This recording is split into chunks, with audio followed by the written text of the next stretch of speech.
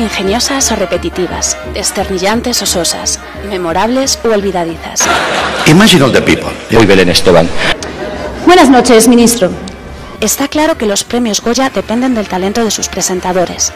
Por eso echamos la vista atrás y seleccionamos los tres que mejor lo han hecho y los tres que suspendieron como protagonistas de las galas. Y aquí tenemos a, a Carlos Bardem y a, y a Mónica Cruz. Ah, no, que son los hermanos.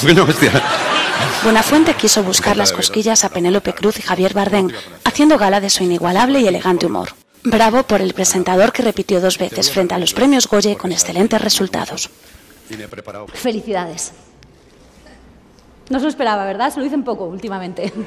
Sangrante e incisiva fue Eva H. en la última gala de los Goya. La presentadora H en mano no dejó títere con cabeza. Una actitud aplaudida por doquier. Carmen Machi, por el contrario, no lideró una gala entretenida. En la retina de la mayoría quedó una única imagen. ¿Recordáis aquel momento beso entre Cristina Aguilera, Britney Spears y Madonna en los premios MTV? Pues similar, pero con protagonistas muy diferentes. Qué guapa está Belén Esteban. Uy, Belén Esteban. José Corbacho metió la pata de forma estrepitosa refiriéndose a Belén Rueda con el nombre de Belén Esteban. ¿Le habrá perdonado la actriz? Guillermo, Dime.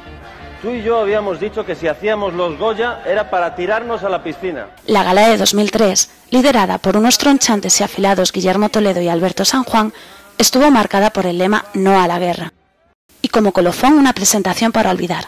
Antonia San Juan se dejó llevar por la decepción de no ganar el Goya Mejor Actriz Revelación por su papel en Todo sobre mi madre, al que estaba nominada, y su intervención dejó mucho que desear.